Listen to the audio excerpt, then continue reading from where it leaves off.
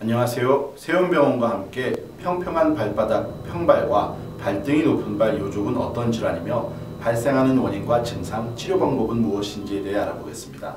발 변형 중에 가장 흔한 형태로 발바닥의 안쪽 아치가 소실되거나 비정상적으로 낮아진 변형을 평평족이라고 합니다.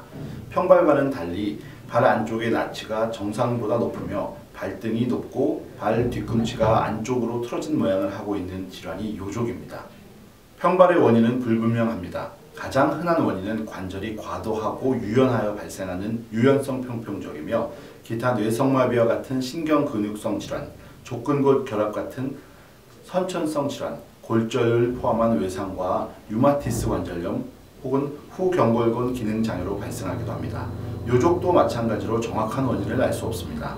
첫 번째 발가락의 중족골열이 족저 굴곡으로 변형이 심한 경우와 뒤꿈치뼈의 뇌반이 가장 흔한 원인이라 하겠습니다. 평발의 증상은 발의 아치가 주저앉거나 소실되었기에 쉽게 피로, 감을 느끼고 무릎이나 허리의 2차적인 변형을 유발하여 척추측만증 혹은 퇴행성 관절염을 유발하기도 합니다.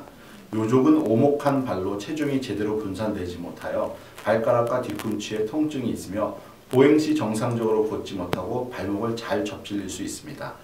걸음걸이가 불안정하고 중심을 잡기 위해 발가락에 힘을 주어 발가락이 굽어지는 망치 발가락이 생기기도 합니다. 또한 통증을 견디며 운동 혹은 활동을 많이 하면 피로골절이 속발하기도 합니다. 대부분의 평발은 증상이 없지만 통증이 있고 굳은 살 등이 생기는 증상이 생기면 보조깔총을 착용하여 증상을 완화시킵니다.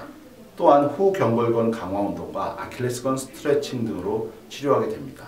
이러한 비수술적 치료로 통증이 지속되고 변형이 심하면 수술적 치료를 받게 됩니다.